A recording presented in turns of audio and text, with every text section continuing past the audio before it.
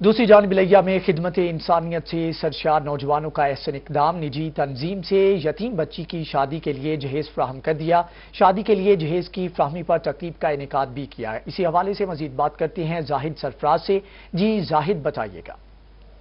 इश्क मुस्तफ़ा और खिदमत इंसानियत से सरशार नौजवानों की टीम फ़कीरान दर मुस्तफ़ा के जेर तमाम आज जो गरीब नौजवान जो बच्चियाँ हैं जिनकी शादी के हवाले से जो जहेज़ के मुतल मसाइल पेश आ रहे थे उनके तावन से फ़कीरान दर मुस्तफ़ा के नौजवानों के तावन से जो है एक बच्ची की शादी कराई गई जिसके तहत उनको जहेज़ का सामान दिया गया। इस, तन, इस तंजीम के जो हजरान के जेर तमाम तकरीब का इनका किया गया जिसके अंदर सियासी और समाजी शख्सियात के साथ साथ फ़कीरान दर मुस्तफ़ा के जो नौजवान हैं जो हजरान कारकुन यहाँ पर शिरकत राशद में भुट्टा सा मौजूद हैं।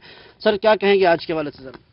सर, बहुत अच्छा अहतमाम किया गया है। ये बहुत बड़ी बात है कि लिया के नौजवान फ़कीरान दर मुस्तफ़ा के नौजवान उन्होंने ये सोच लिया और ठान लिया है कि किसी बहन की जो है वो हाथ पीले, सिर्फ़ मुआशी मामला की वजह से होने से ना रह जाएँ।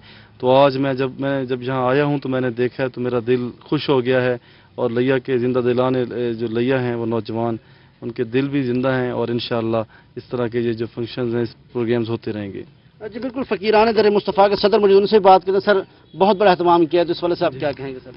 मुझे बहुत खुशी हुई है। अल्लाह ताला हमें तोफ़ीक दे कि हम इन स्टेप बाई स्टेप ये प्रोग्राम हर माह करते रहें। अभी तो हर चार माह के प्रोग्राम बनाए अल्लाह ताला हमें तोफ़ीक दे। हमारे साथ दोस्त, हमारी कबीना, हमारे जो शाना बशाना रहने वाले जितने भी हमारे दोस्त हैं, जनाब, अपना खालिद साहब, अपना जहद साहब जनाब मोहतरम सजाद शाह साहब ये सारे जो रफ़ीक मलिया साहब जो हमारे बानी हैं ये यानी करीम है हमारी एफ़ डी एम की।